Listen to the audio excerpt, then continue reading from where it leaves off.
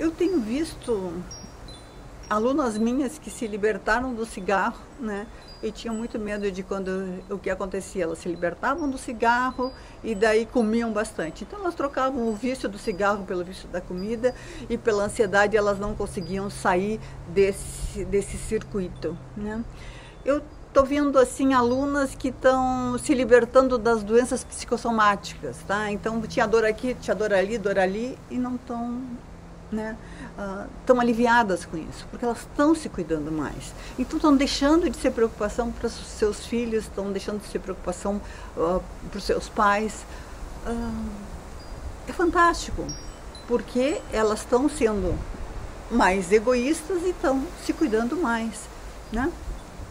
Já vi pessoas que estavam diabéticas deixarem de ser, porque estão tendo muito mais autocuidado e colocando para dentro as substâncias que realmente vão fazer bem para o seu corpo.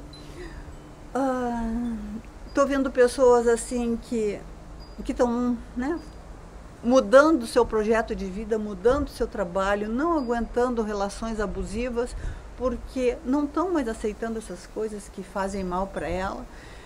Então, né, é importante a gente ser egoísta, é o egoísmo no bom sentido daquele assim que tu está cuidando do teu eu.